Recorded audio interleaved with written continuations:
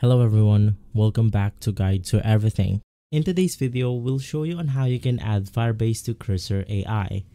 Now to add Firebase to a project in Cursor, you'll first need to initialize Firebase in your project directory. So to go ahead and initialize the Firebase directory, you then want to go ahead and create a Firebase project. If you don't already have one, you can just create a new Firebase project in the Firebase console. From there, you then want to add your application to Firebase. Initialize Firebase into your project so you can just use the Firebase CLI to initialize Firebase in your project directory. And from there, we'll be able to go ahead and simply integrate Firebase services. So to do this, in your cursor project, you can just use the control key shortcut or the edit option to ask cursor to generate a code for a user authentication.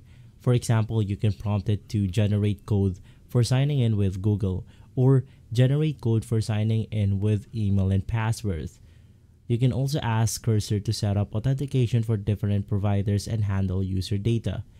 And from there, you can then go ahead and use the authenticator to go ahead and link it with your Firebase. If this video has been helpful, leave a like, subscribe, and follow guide to everything for more videos like this. Thanks for watching.